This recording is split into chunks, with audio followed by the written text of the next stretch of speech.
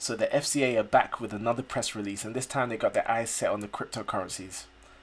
Cryptocurrency trading may see the same fate as binary options as the FCA proposed to ban trading of cryptocurrency derivatives to retail consumers. Let's get straight into the video.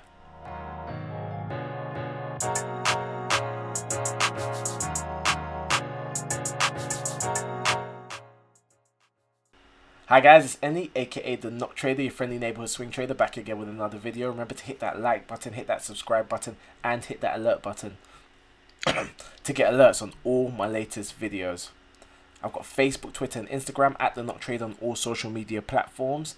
And if you check the description section below, you'll see two links. See a link to my mailing list. If you join my mailing list, you get priority access to the free training course I'm creating for all beginning traders. And I've got a Discord group called Pip Talks. Um, in this group, we've got uh, channels for traders and investors, and it's just a community chat room where like-minded traders and investors can discuss uh, stocks, shares, investments, and everything, anything to do with trading and investing. Um, let's get straight into it. So, I'm actually, I've actually created a a um, before I get into this video, I've actually created a uh, um, playlist just for the FCA because I've started to create so many videos that I, I felt like it needed some playlist. So check that playlist out. Um, yeah, the FCA are taking no prisoners 2019. I used to say they were very reactive, but it looks like they're taking a proactive stance these these days. Um, that could be good or positive or negative depending on where you stand on some of these new rules that they're putting in place. So it was only a couple days ago that I actually created a video about how IG had in, had introduced a crypto crypto 10 uh, index, which was uh, a weighted index of the top 10 cryptocurrencies. Um, I know some of the other trading platforms have done the same thing as well. Plus500, I know they've done it. Um, I'm not sure who else has done it, but I think, to be honest, this press release is, is, is in direct response to these crypto 10 indexes. I think they think cryptocurrencies has gone a step too far for retail traders.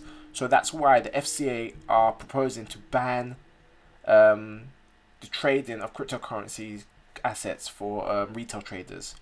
So um, in this article, it says that FCA considers these products an ill-suited are ill-suited for retail consumers who cannot reliably assess the values and risks of derivatives or ETNs that reference certain crypto assets, crypto derivatives. So I think what they're trying to say is retail traders are going to lose a lot of money, so we're we're taking cryptos from them because it's too complex for them to understand because they're not that educated. That's the um, that's a little that's the translation I'm going to give you to that. So they, which is true. That's why um, which is true to some extent. There's there's a big there's a large gap in knowledge between um, retail traders and institutional traders, and that's why the few retail traders that are, that are profitable are in a small minority that you always see on these trading websites that oh anything between 75% and 80 and 90% of uh, trade retail traders are lose money and it's true. And it's because they're not educated. A lot of people get into trading and they want to make quick money and they don't really do the due diligence and do the boring stuff which is learning how to trade charting understanding leverage understanding margin all this type of stuff. They just get in fund an account blow their money up and then leave or they may, may carry on and keep losing money. And that's that's the story for most traders. So a lot of people think trading is a scam, but it isn't. It's just that most people are profitable because they don't take the right steps to um, educate themselves and understand the market before they even put money in their account. That's another story. I digress.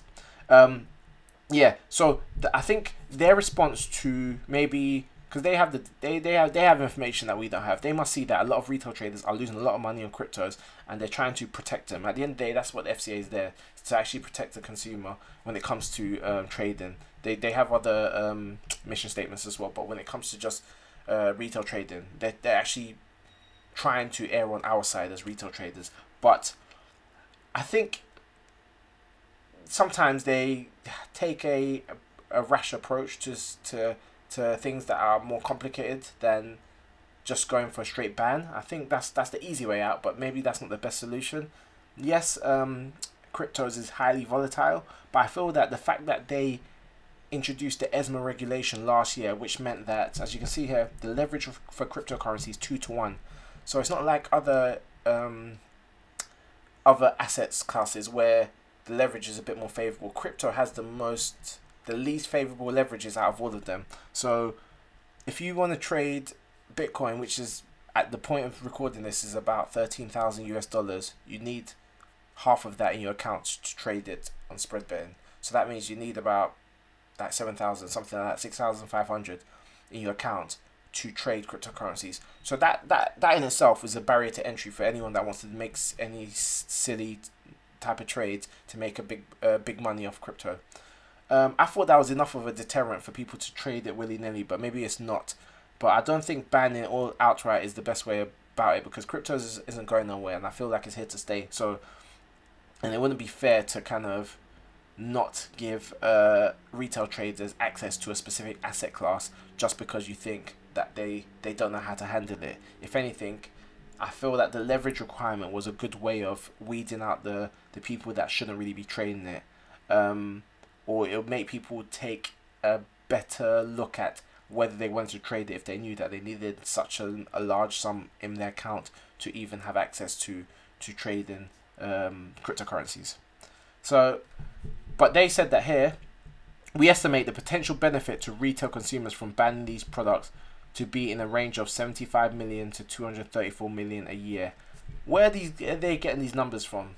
Are, are the are the trading platforms giving them um, the, the the back end data to to let them know how how many traders are losing money on cryptocurrencies? I doubt it.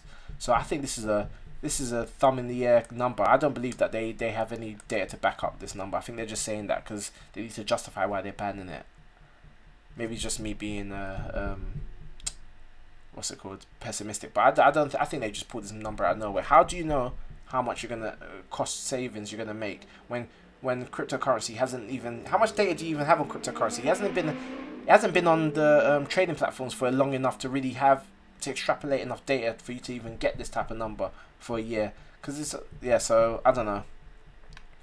I, I think this that number's a ballpark figure. My suggestion would be I would well they're not listening to me. They're not watching this video. Maybe they are. I don't know if they are. Uh, get me on as a consultant. But um, I think the the fact that the leverage is that that two to one leverage is, is in place, I think that should be enough. That should suffice. And banning cryptocurrencies is not the way to go. But it looks like that's the that's the way they're heading. But um, I thought I'd just make a little video on this since I've been following pretty much everything the FCA do that's related to trading and investing.